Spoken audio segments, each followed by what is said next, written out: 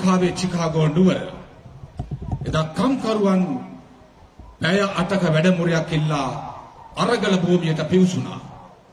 එදා ඇමරිකානු ම්ලේච්ඡ පාලකයන් විසින් ඒ කම්කරුවන් ලෙයින් යකඩින් ගින්දරින් මර්ධනය කරනු ලැබුවා. කම්කරුවන්ගේ රුධිර දහරා හේමාක චතුරාසය පුරා ගලා ගියා.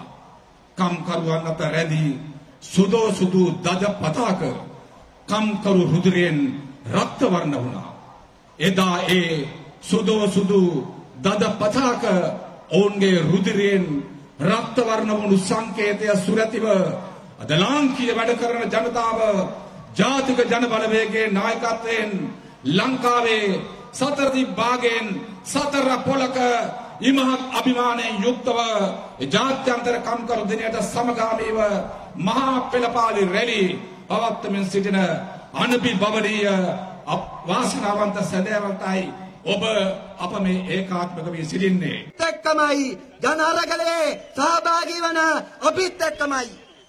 අපට තරගයක් තියෙන අපේ වේදිකාව ලස්සනයි. අනුරාධපුරේ වේදිකාව ලස්සනයි. කොළඹ වේදිකාව ලස්සනයි. මැයිදිනේ වේදිකාවක් ගත්තොත් ලස්සනම වේදිකාවට තරඟය තියෙන්නේ ජාතික ජන බලවේගයේ අපි අතර විතරයි අපි අතරමයි. නැතුව වෙන කට්ටියත් එක්ක නෑ. සෙනග ගත්තත් එහෙම තමයි. සෙනග ගත්තත් එහෙම තමයි. අද අනුරාධපුරයේ සහෝදර අපිට කතා කරනවා. විදේශ රටවල් වල සහෝදරු කතා කරනවා. සහෝදරය වැඩියෙන් සෙනග ඉන්නේ මාතරද කොළඹද අනුරාධපුරේද කොහෙද කියලා අහනවා. තරඟය තියෙන්නේ රනිල් එක්ක නෙමෙයි සජිත් එක්ක නෙමෙයි බෝට්ටුවේ ඉතුරු වෙච්ච කට්ටියත් එක්ක නෙමෙයි ජාතික ජන බලවේගයේ අපට තරඟය තියෙන්නේ අපිත් එක්කමයි.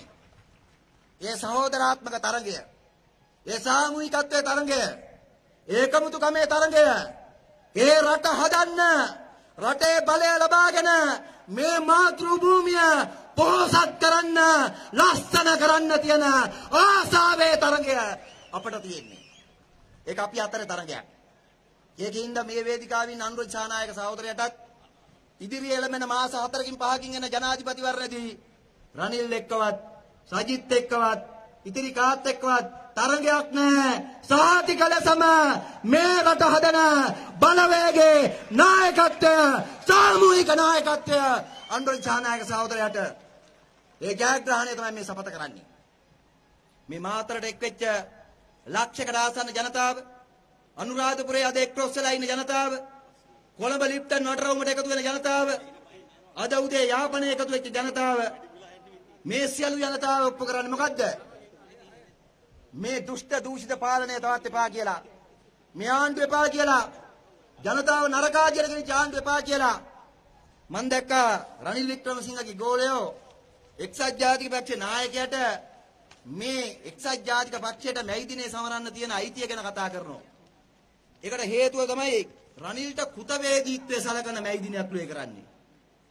රනිල්ට මොකටද කෘතවේදීත්වය සලකන්නේ? 1970 ගණන් වල ඉඳලා පාර්ලිමේන්තුවේ ඉඳලා 78 මේ රට විකුණන්න යෝජනා කරපු ඒ දුර්දාන්ත පාලන ක්‍රමේ බෝ කරලා 80 වැඩ වර්ජනයේදී ජූලි වැඩ වර්ජකයෝ ලක්ෂ්‍ය පාරට දාන්න අත උස්සපු නිසාද? ඒකට අත ඉස්සුවට රනිල්ට කළගුණ කළ ගන්න ඕනද මේ රට ජනතාව? මහා බැංකුව මංකොල්ල කාලා බදු වංචා කරලා බැඳුම් කර හොරු අදත් ආරක්ෂා කරන නිසාද රනිල් වික්‍රමසිංහට මේ දිනේදී මෙරට ජනතාව කෘතවේදීත්ව සලකන්න ඕන. අදත් වංචාව කරන්නේ. එදත් වංචාව කරේ රනිල් වික්‍රමසිංහ. දැන් ඊයේ රෑ තෙල් මිල අඩු කරනවා. ඊයේ රෑ තෙල් මිල අඩු ගන්න මොකටද? අද කයිවාරු ගහන්න. අද පම්පෝරි ගහන්න. අද දැන් වේදිකාව පැලෙන්න කතා කරනවා. රනිල් වික්‍රමසිංහ මහා දෙවන් තරකලයක් කරලා තෙල් මිල අඩු කරාලු. ඈ ඊට පස්සේ ලයිට් බිල දැන් අඩු කරන්න ලෑස්ති වෙනවලු. ඊළඟට කියන අර්ථ සාධකේ 100ට 9 තිබිච්ච 13 කරාලු. ජාත්‍යන්තර මූල්‍ය අරමුදලේ පදයට අර්ථ සාධකේ විකුණම් කරන තැනට ගෙනල්ලා ණය ප්‍රතිව්‍යුහකරණයේ පළවෙනි පියවර හැටියට අර්ථ සාධක කප්පාදු කරලපු රනිල් වික්‍රමසිංහ ඡන්ද ගුණ්ඩුවකට දැන් අර්ථ සාධකේ පෙන්නනවා. ඒ විතරක් නෙමෙයි.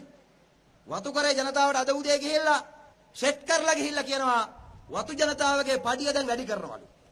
එහෙනම් රනිල් වික්‍රමසිංහ කලගුණ සලකන්න කෘතවේදීත්ව සලකන්න ඕන නායකයෙක් නෙමෙයි. ගහලා පන්නන්න ඕන නායකයෙක්. ඇයි? වැඩ කරන ජනතාවගේ අයිතිය විකුණම් කරන්න හදනවා ඡන්දෙට ජනතාවට බදු ගහලා හාල් මිල වැඩි